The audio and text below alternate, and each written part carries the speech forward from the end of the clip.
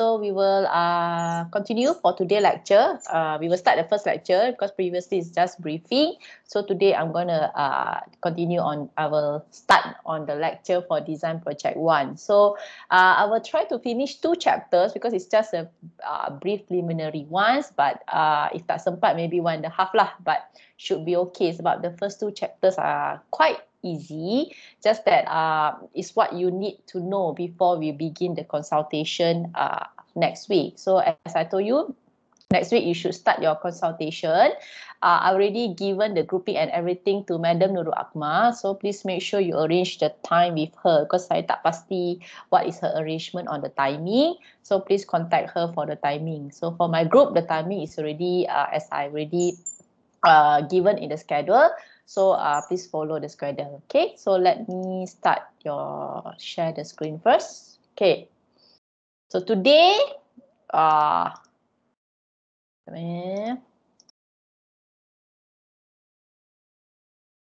okay, so today lecture is uh, quite straightforward.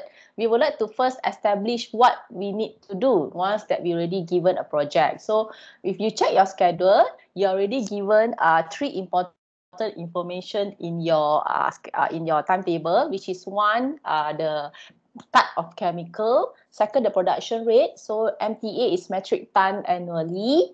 And third one is the supervisor name. So what's more important is please check and make sure your chemical and your production rate is correct. Okay? So that's the two things that you need to understand because the basis of uh, your plant design is based on these two information Okay, so first of all, we will start on the design problem. Okay, so now you imagine yourself that you are going to start building a chemical plant for the production rate that's already given to you and the type of chemical that has already been specified. So you must understand of course, in the ideal world, uh, supposedly you choose the chemical that you want to produce, you choose your production rate. But in this class, assume that you already came to that conclusion, you want to produce, let's say, phenol, and you already decided on the production rate that is already given. Okay, so for the first uh, six week, as I told you last week, this is what we want to achieve in the first six weeks. Okay, so we want to understand the study of the raw material and the product. So the product is already given to you. So you now you have to do a background study of the product and background study of the raw material that you will use to produce the product. Okay, then next we will go to feasibility study. Okay, feasibility study of whether it's feasible to produce uh, the chemical that you were assigned. So for example, phenol, is it feasible or is it a good, you uh, is it uh, doing a feasibility study on is it phenol is a good chemical to be produced, so on and so forth. And then we have a block, block and process flow diagram, which I told you last uh, Monday. We will start building the block and process flow diagram okay and then plant location and lastly safety issues and environmental impact so this for today we will go on uh, introduction okay? We're going to talk about how to establish the design problems so on and so forth. And then we will go to uh, background study uh, on the process selection. Sorry we just go on process selection first right? So first uh, as you know, plant design is a creative activity and can be one of the most rewarding and satisfying activities undertaken. So when you do design project, you just assume yourself that you are actually building a real chemical plant and you are starting from scratch. Okay, so when you want to design, okay, always whenever that you do something, definitely you have a design objective. Okay, so in the design of a chemical process, you have to have consideration. So important considerations are the public need for the product, commercial opportunity as foreseen by the sales and marketing organization. So of course, when you want to produce something, imagine you want to produce and you want to sell something, definitely it has to be something that has uh, uh, requirement from the public means the public you have customers existing customers and this can be known by the sales and marketing organization that's why before we start actually uh, building a plan, we need to do what we call as feasibility study. And then design designer should obtain a complete statement of the requirement. So in your case, the complete statement of requirement is already given to you because I already give you the type of chemical and you already given the targeted production rate. Okay, so imagine before you start building a plan okay, of course you need to first find out everything and then you will have the design objective and the design objective includes types of chemical and targeted production rate. So you can see from this diagram, there are few stages until you obtain the final design. So it includes uh, specifying your objective, then second, collection of data, physical property, design methods, third generation of possible design. So later when you check from literature once you get your chemical when you check from literature you have a bit headache because different chemical plant might use different process entirely. So why different process is of course because of different method. And this different method is usually because of the different types of reaction. So you must remember to produce one chemical, there can be many, many types of reaction. So, so different reaction will have different method, different method, different process, different equipment, so on and so forth. So, to establish the process that you want to choose can be also one of the headache. But I will teach you what do we need to consider. So after you already know all the possible design, let's say you find from literature, from your senior, so on and so forth. Now then we will then select and evaluate. So nanti dalam report kamu pun the same thing. You have to discuss the possible method. Okay. I try to help you because I know if I ask you to discuss so many all the methods, it will take a long time. So I just I just make it a requirement, you just discuss two different processes will be enough. You want to discuss more than two is much welcome, but what's required uh, from the report is only two different processes. So you have to discuss lah process one, process two, okay, to produce the same chemical but different process. So you discuss the advantage, disadvantage, so on and so forth, and then finally justify why you choose one of the process. Okay, so let me explain again you only need to discuss two process, two different process. But if you want to discuss more, it's actually up to you. Okay, right. So next one. Right. So once you already know the objective, so for your case, you dah tahu objektif dia to hasilkan let's say phenol, let's say 400,000 metric ton per annum. MTA tu metric ton per annum eh. Okay. Then next, you want to collect data. Okay, so now you at this stage. Stage pertama tu dah settle sebab saya dah bagi kamu. Stage kedua is you want to do data collection. Okay, so to proceed with a design, of course, you have to assemble all the relevant facts and data. So I, I, like I advise you previously, if you can get a sample reports from your senior, it's fine with me. Or if you want to find from internet, it's also fine with me. But always, always ultimately choose the process where you have all information or the most complete information. So this information, like I told you, if you can have a complete diagram which I will show you later much better.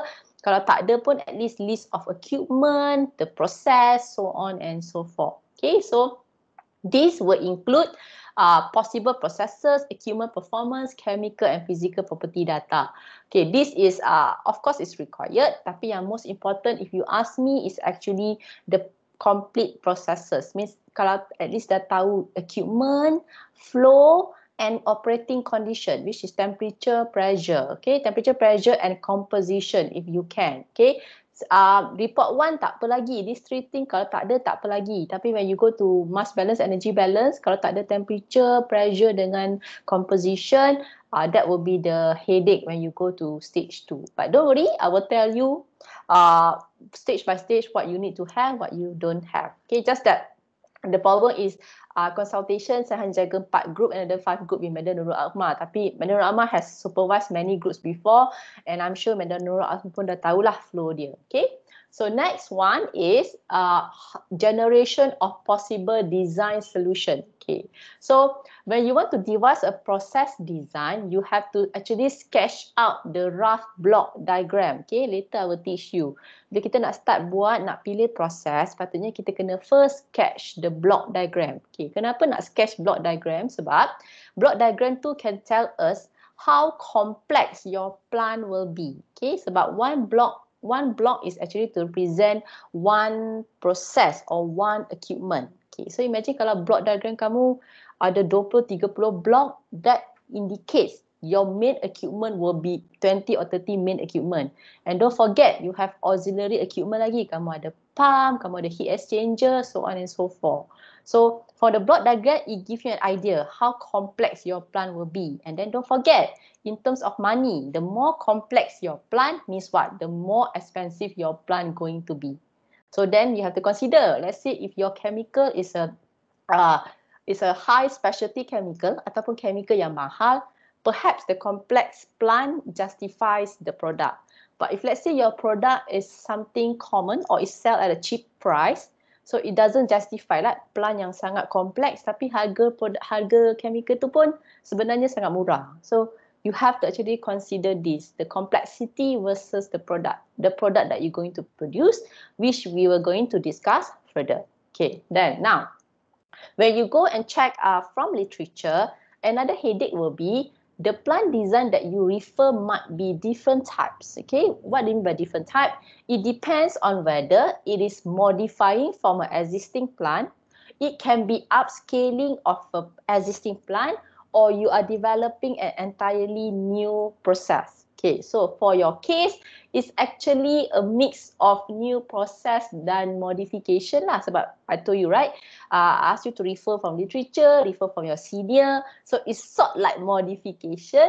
Okay, and then at the same time, you have to produce, uh, you have to come up with yourself. So it's a mix of modification and new process. I would probably say more of modification, meaning katakan kamu dapat pada senior, you dapat pada literature, then perhaps we can think of how to modify the plant for it to be more efficient or to be more productive or in fact maybe to be even more cheaper you know? Maybe kalau plant tu complex perhaps you can modify it to make it less complicated so on and so forth. So we will discuss further. So again uh, everything that I told you is actually depends on macam nak cakap eh the chemical that you are assigned to. I actually tried my very best to list out chemical yang commonly produced. Sebab kenapa? Kalau chemical tu commonly produced the literatures are more available. Kalau saya pilih chemical yang terlalu specific or chemical yang terlalu macam uh, only certain companies produce it my fear is you won't have enough information. Okay so i think the chemical that i give you are the easy one the common one. You should not be able you should not have any problem to find the information. Right? Okay. So next one Now you want to select. Now that you have, katakan kamu dah check literature, you found that maybe five or ten different processes to produce one chemical. Sebab kamu kena ingat tau, uh, dalam plant ni dia punya, how do I say, uh, you know chemicals, right? Behavior, characteristic and so forth. So every plant will have its ways on how to uh, maximize, uh, of course, always to maximize keuntungan, okay, to get more profit. So they might modify certain parts. So nanti bila kamu rujuk 10 literature, nampak macam sama tapi you will see sometimes the equipment sequence so on and so forth okay? So then again what do what are the factors that we need to consider bila kita nak select design okay? Let's say you have 20 10 designs so on how do we select okay? So normally we will go through a uh, few stages okay? So the first stages is what we call as possible design okay? Or we call it as well as credible design Okay, so what do you call by these credible designs? These designs are within the external constraint. Okay, constraint ni cabaran halangan, dia ada external and internal. Okay, so external constraint is a much bigger barrier, okay, which include resources. Okay, so let's say for example, katakan kamu kamu tengok daripada literature ada dua proses yang berlainan. Let's say okay? So let's say you check the raw material okay? Let's say proses yang kedua ni raw material dia adalah something that is not available in Malaysia. That you need to export or you need to import the raw material from overseas. So you may not to consider. Kalau I use raw materials that I need to import from overseas, you know that will incur extra cost, right? Because it include transportation. So perhaps method one menggunakan raw material that is easily available in Malaysia. So then you will already save a cost, significant cost of transportation. However, dia bukan straightforward. Perhaps maybe, uh, let's say yang method kedua tu raw material dia kat overseas, but that raw material is at much cheaper price compared to method one yang raw material kat Malaysia. So you can see dia susah tau sebab dia there's a lot of criteria you have to consider. Okay, raw material ni kat overseas mungkin mahal sebab transportation tapi when you see the raw material cost it's much cheaper. So you have to consider all these constraint all these factors when you want to decide the process. So tu baru resources.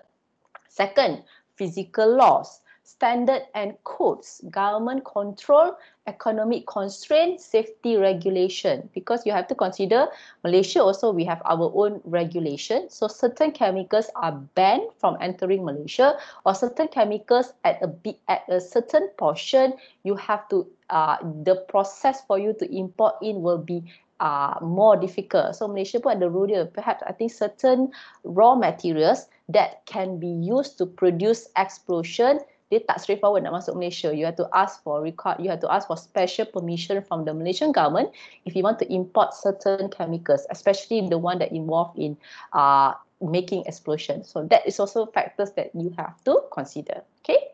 So next one is uh, possible design. Okay, possible design ni is what we call as feasible. Tadi credible, boleh jadi. Feasible is more possible. Okay, so we call it as possible design and what's the difference? Just now we think about external barrier, external uh, constraint. Now we will think about internal constraint pula. So internal constraint is such as process condition, material, personal time, methods, choice of process. Okay, so process condition pula. Let's say now you have two different methods. Uh, one method uses very high operating condition, meaning high temperature, high pressure. Method two, let's say no need. Okay, so when you have high operating condition, especially temperature and pressure, you know it will incur cost on your equipment design. Kenapa? Sebab sekarang equipment design kamu, material dia dah kena consider pula high temperature, high pressure. Okay, you know that not not all materials can be used to construct an equipment when it involve uh, high temperature and high pressure. So that might incur cost on your plant. However, maybe yang the one the other method walaupun kat room temperature perhaps the process is more complex.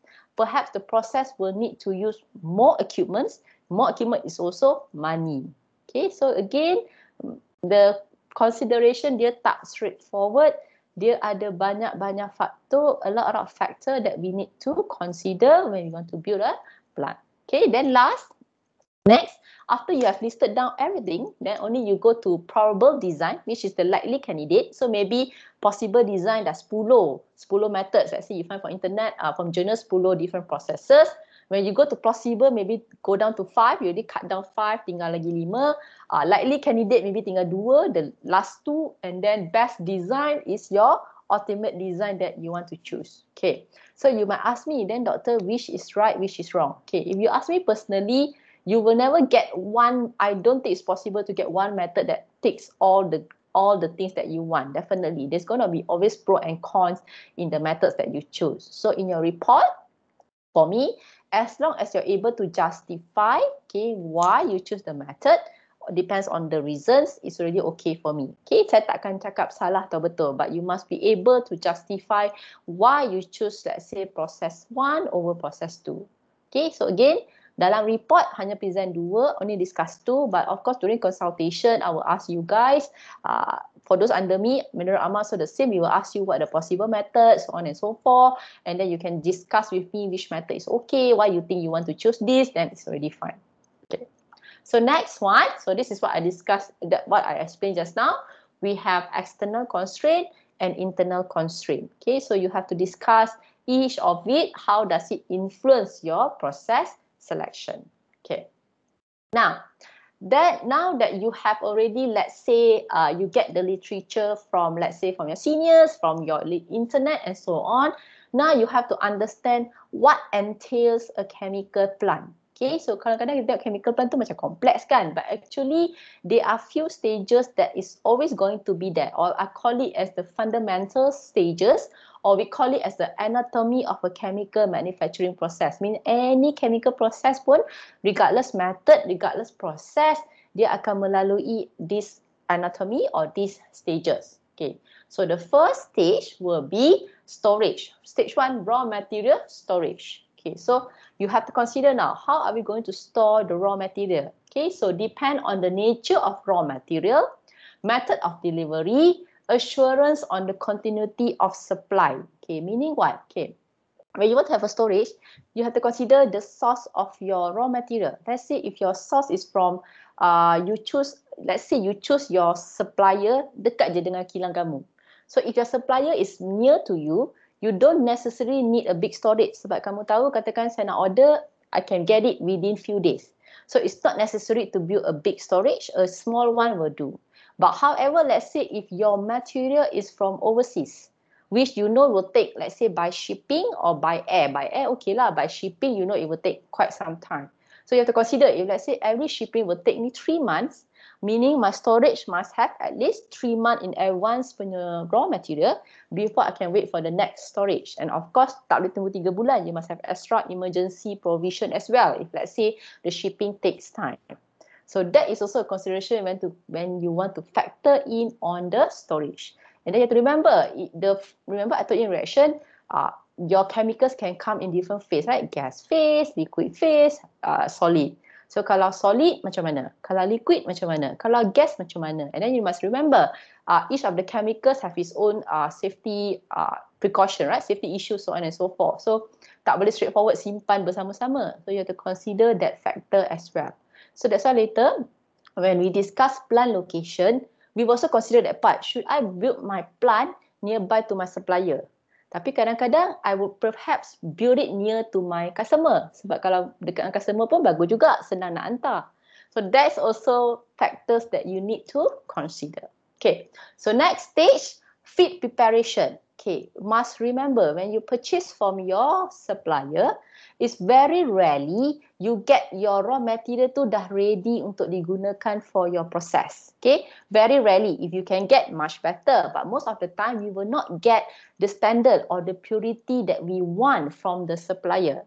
So in that case, what we need to do? So in our plant, we need to have the purification and preparation of raw material. Okay, so let's say in your case, your raw material, let's say you use, uh, let's say you use uh, can I can I give idea? Let's say you use phenol, okay? Let's say your raw material is phenol. You purchase from supplier is 95% purity, but your process needs 100% purity. So in your process too, your plant, the first equipment, the first process will be on the preparation of the feed, which may include purification. Okay, so that's one factor to be considered. So when you want to design your process, kamu dah kena fikir ada tak supplier yang boleh supply to the standard that you want. If cannot, then you have to consider that in your plan. Then next one, reaction. So this is what something, that's why you have a one course on its own called reaction engineering because in every chemical plant, I will not say every, in most of the chemical plant, you will definitely have a reactor or reaction, eh, reactor where reaction takes place. So you can see here they put it reaction stage is the heart of chemical manufacturing process. So in fact uh, when they're talking about designing a chemical plant, designing banyak-banyak equipment, the first equipment that priority will be taken is on the reactor. Kenapa? Kami ingat tak? Sebab reactor kan conversion, uh, produk yang kamu nak. So if my reactor is not working at the optimized condition, uh, tak gunalah equipment yang lain. Must be the most efficient reactor for the success of a chemical manufacturing. Okay, then now lepas reaction, kan remember when you have reaction, you have main product, side product kan and we have unconverted reactant. Very rarely reactor boleh convert 100%. Mesti ada yang tak convert, ada main product, ada side product. So kena buat apa? Kamu kena separate. Why kena separate? Don't forget product by product and your unreacted to have to be separated. Why? Sebab your unreacted material is money. You cannot just buang je. You want to recycle back and use back. So always when after reactor, if I don't, we don't get high conversion or we don't get optimum condition conversion, we will have to separate and recover back our reactant to be recycled back. Okay, so in your plan later, sebab tu macam mass balance pengiraan dia jadi kelang kabut sebab dah lah kira daripada belakang ke depan. Lepas tu kena kira recycle pula. Kamu kena decide berapa yang nak di-recycle into the process. So on and so forth. Okay. And then after you are separate, let's say you are already separated, you dah recycle your uh, uh, reactant. Now you have your product and side product kan. So product and side product kena purify pula because it depends on you. What is the what is the purity of the product that you want to sell? Okay, so first kena tahu purity raw material yang nak guna. Next is to decide the purity of the product that you want to produce. So this is up to you. So let's say if you want 100% purity, means your uh, purification punya stage tu akan jadi lebih kompleks lah sebab kamu nak dapat sampai 100% which is usually impossible lah. Usually the most also 99.9. I don't think you can reach to 100% because engineering, I don't think it's perfect. So you don't think can reach 100% purity. The most maybe 99. I think if you check chemical punya internet, they will give you about 99.5% purity. So it depends on you. Purity nak decide macam mana? Kalau kalau saya jadi kamu, tengok Google je. Normally kalau company, chemical companies, kalau chemical ni, dia jual purity apa. So you know if they are selling at this purity, most likely this is what the customer want. So kamu ikut je. Kalau company A, B, C kata jual at 80% purity, you set at 80% purity. Unless, unless you identify ada customer, potential customer yang memang nak, let's say at 98% purity, you you identify potential customer. Perhaps that can be a that can be a good reason sebab higher purity the more expensive it will be which is normal sebab nak purify kan kena banyak kena additional process. So more purity more money. More money more equipment so on and so forth and then lastly is your product storage. Okay so your product storage must also be there. And then it depends your customer as to you the same consideration as tadi raw material supplier product customer. So kamu kena uh, you have to balance between the ability of getting the raw material and how uh, the the easiness for you to sell your product to the customer. Okay, so let's say that's why when when you're doing the plant location later, you have to consider all this. So means kamu dah kena tahu sebenarnya siapa potential supplier, potential customer this will be a reason in doing your uh, plant location later uh, as well. Okay, all right. So then don't forget, okay, this is the main one. Okay, but we always we often forget ancillary processes or, or we call it as additional processes. Why? Because all this equipment, all this process will need utilities. Okay, equipment yang kamu gunakan ni semua ni memerlukan utilities yang kamu tak nampak dalam block diagram tapi nanti bila, kamu buat PFD kamu akan perasan there's a lot of utilities that you need. So this utility include process water, cooling water, compressed air or steam. Okay, so untuk for this equipment to function, they need utilities. Okay, and then don't forget your plant will also have other facilities such as uh, maintenance. Okay, you have to have a special place for maintenance for your plant. Second, firefighting. If your plant is big enough, you might need your own firefighting station. Okay, you need officers, administration. Your administration uh, staff will be need to be placed in their office. And of course, if you are doing R&D, you need laboratory as well. So later, I will teach you to do plant layout. Kamu ada dua. Kamu ada plan layout je eh. Kamu ada plan layout dengan location layout. Okay. So plan layout ni dalam kamu punya plan. The whole factory layout ni kamu kena buat layout. Okay, where will be your plant, where will be your offices, your parking lot, your uh, uh, uh, hostel, uh, not sorry hostel, cafeteria, so on and so forth. So later kamu akan design betul-betul kamu punya plan which include as well the entire layout of the plant and the factory as well. Okay, right. Then next one is deciding against continuous versus batch. Okay, so in your case, fortunately, based on the production rate, definitely you will go towards uh your towards continuous dah sebab daripada production rate kamu memang impossible to do batch. Okay, so in your case, technically you dah of course you goes to continuous, but let me discuss with you in general. Okay, let's say now kamu ada chemical ni, kamu nak decide nak pergi continuous ke nak pergi batch. Okay, so there are actually many criteria to be considered. Okay, first, if you are doing continuous, if your production rate is greater than 5 million kilogram per hour, okay, means a big production rate, uh, single product, okay, you've got no, uh, you only just produce one main product, uh, no severe fouling, good catalyst life. So if you're using catalyst, usually we will use a continuous process, uh, proven processes design, established market. Okay, batch process, I think I've taught you before in uh, reaction.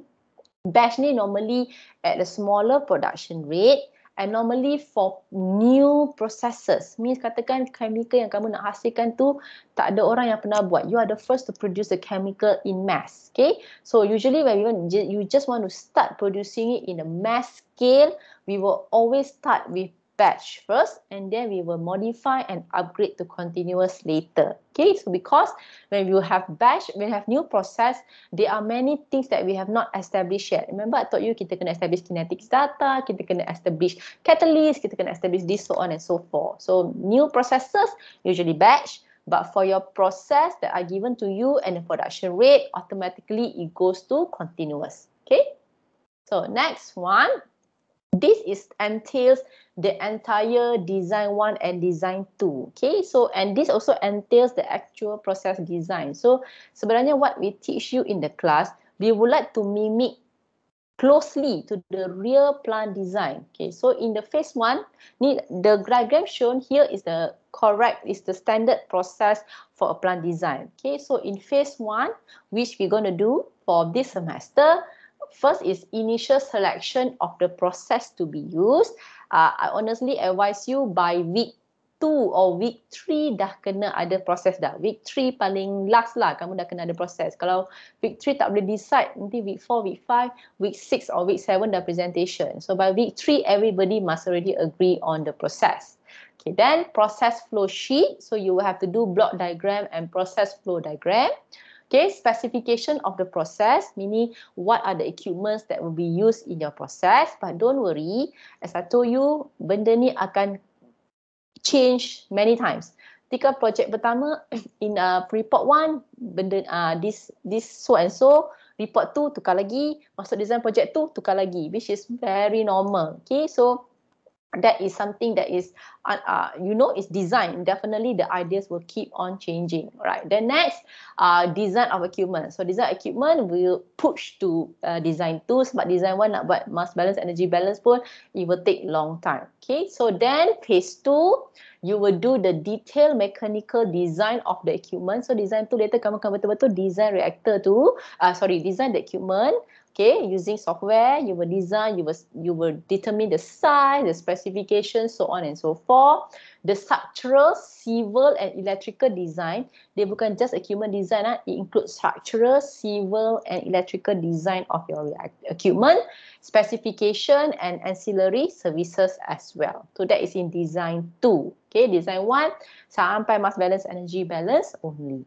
Okay next one now don't forget okay, as an engineering or as an engineer tech, uh, and technologies, uh, all of you are bounded by code and standard. Okay, when we talk about uh, a graduate of engineering and engineering technology, everything that you do is bounded by what we call as engineering code and standard. Okay, or we call it as engineering practice code and standard. So when you are designing, you are doing your report and so on, make sure you always refer to this practice code and standard, which in design, it includes material properties composition, testing procedure, preferred size, design method, inspection, fabrication, code of practice for plant operation and safety. So I hope you already learn in safety, you already learn in other uh, courses as well. You know that when we are designing, for example, equipment, okay?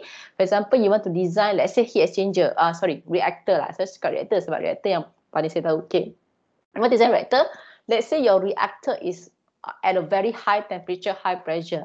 So at certain temperature, certain pressure, there's already a standard, standard code that states, okay, if this pressure, this temperature, only certain material that can be used to construct the reactor. Okay, so you cannot simply kata, kapila saya nak murah, saya, saya guna carbon steel. Cannot. Carbon steel is only for temperature, I think less than 200 and less than 10 megapascal. Anything more than 210 megapascal, you're supposed to go to stainless steel. But stainless steel pun ada code dia sendiri. We have SS304, SS315, SS316, so on and so forth. So certain material has its own specification in terms of operating condition. So you must obey to this code and standard when you are building your plant. Okay, so kamu nak pilih, kamu tak boleh sebarangan pilih ikut suka hati kamu. You really need to refer to this code and standard which we will then uh, teach you, guide you as it goes around. Okay, so code referring to recommended design operating procedure standard refers to the sizes and composition okay so when you are designing certain equipment dia ada certain size kamu pun tak boleh sebarangan katakan piping kamu tu you cannot simply uh, determine your piping size the piping size also ada standard dia sendiri okay so the piping size includes the thickness of the wall so on and so forth material construction thickness of the wall this also has certain code and standards you need to follow when you're designing it. Okay, so that's why uh, I highly advise you to uh, use the design book when you're doing the design because then they will tell you what are the codes and practice. So each equipment, each component, each parts may have its own codes and standards. That's why kalau kamu nak pilih process, if you are choosing a high temperature, high pressure process, this is extremely important in the design. Okay, right. So units. Okay, so this is what something that I have to tell you by now. Please make sure the units are standardized. Okay, and in design project one, uh, please use SI unit. Okay, saya tak nak ber, saya, I don't want everybody reporting different different unit. It will be very confusing. So my request, everything reported in your project must be using SI unit. And of course, in the real world as well, when you're doing a design, everybody must speak the same language using the same unit. So either it's SI unit, American engineering units, and so on and so forth. It must be of the same unit. And in my design project one, I decided please use SI unit. So make sure all of you are synchronized on the units. Okay. So next one. Eh, okay. Right. So in a chemical process, the transformation of raw material into desired product cannot be achieved in a single step. The overall transformation broken down into several steps that provide immediate transportation. So understood lah daripada raw material to get a product is not one process or one block. It will be broken down into several blocks which just now I already tell you, right? Kita ada uh, uh, raw material purification, kita ada reactor, kita ada separation, purification of product, so on and so forth. So it involve a lot of process until you achieve your final product. Okay, so these are among the things that you will consider which we will discuss more. But at the very beginning, these are the factors that you have to take. What types of processing? Okay, how do we sequence the processing step? Okay, next, uh, to what extent can we expect each of the processing step to perform? What features are required? So for example, let's say now reactor, okay? Saya bagi contoh reactor. Let's say now you have one reactor. Let's say your reactor now conversion is very low. Let's say you have only uh, 50% conversion. So tadi saya katakan kamu satu option separate recycle balik kan? Okay, that's one option. Another option, remember I told you, it's possible to have reactor in series kan? So means katakan satu reactor conversion 50%, perhaps instead of separating and recycle, I add another reactor. So when I add another reactor, perhaps the conversion can increase from 50% to let's say 90%. So when I increase conversion, okay, that will be also another alternative. Rather than separate recycle, separate recycle, just continue to another reactor. I have higher conversion, more product.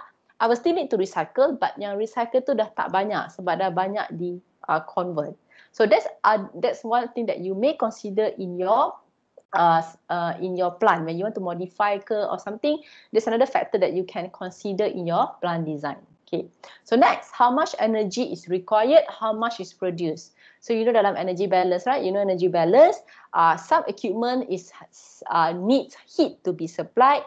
Certain equipment will release heat. So that's also a factor to be considered. Okay. Then we have how much feed do we need? How much product are produced? In your case, I, we, you already know how much you're going to produce. You don't know how much that you're going to need. Okay, so that's what you're going to do. And mass balance, kita akan kira berapa sebenarnya raw material that we need. Okay, how much waste is generated? So then again, saya lupa nak cakap, when you consider process, you also have to consider maybe certain process produce a lot of byproduct. So when you produce a lot of byproduct means what? A lot of waste. So let's say you are choosing a process with a lot of waste, you may that then it's going to be another headache for you how to manage and treat the waste. Okay, if the waste is not hazardous, or it's quite straightforward, perhaps you can have your own waste treatment plant. Let's say, but let's say you're producing a very hazardous chemicals or your plant is not able to treat it, you might then need to think how to uh, outsource it and send it to the waste treatment companies to sort to treat it because then if I send it outside to be treated by other companies, that is also money. Okay, so jangan tak boleh fikir juga pasal produk je, kena fikir juga macam mana nak manage waste ni. Okay, I cannot be piling it in my plant, right? You need to somehow either treat it or send it outside. Okay, so that's also a factor to consider when you are choosing the process. And lastly, profit. So profit nanti dalam uh, plant design project two, you will calculate conclusively how much is the cost of your plant. Okay, you will determine how much the cost of your raw material, how much the cost of your plant, and then you will calculate in how many years finally your plant will make money. So usually the new chemical plant, the first five years, the first five to ten years, rarely they make money. Sebab dia nak recover balik duit untuk bina plant kan. Sebab bina plant nak kena beli equipment semua, design equipment, that is money, right? So for you to recoup back your investment, it takes usually about five to 10 years before your plant start making profit. So that will be uh, what you were going to do in plant uh, design project two. Okay. So next one, once you have already established the process concept, then we can have process flow sheet. And once you have process flow sheet, then you will have equipment design. So dah tahu process flow sheet, dah tahu katakan okay saya ada satu react saya nak must have one reactor. For example I must have one uh, separation. Then you have to decide reactor tu reactor apa? Remember I taught you you got different types of reactor right? Uh, on separation pun you got different types of separation right? You might use distillation column separator so on and so forth. So that is also something that you need to consider. Dah tahu proses dan kena pilih pula equipment mana yang kita guna for that process itself. Okay? Right So that's for stage, uh, chapter one. Since we have time, I will go to chapter two.